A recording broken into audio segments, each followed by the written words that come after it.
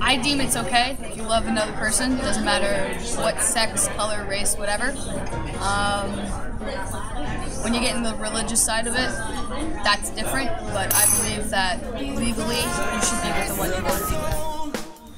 I am personally for same-sex marriage. I mean, you if you fall in love with whoever you fall in love with, that's fine by me, and you can marry whoever you want. I don't.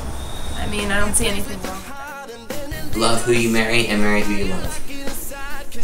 I was brought up in a fairly conservative family, so I kind of was raised to be against it. But as I get older and as I would like to think I become more mature, uh, I don't see a problem with it. I don't think that anyone should have the power to tell two consenting adults that they can't do something.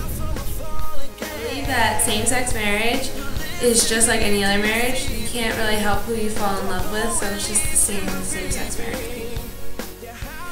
I, I'm alright with it. Um, love is love. People can marry whoever they want. Let them get married.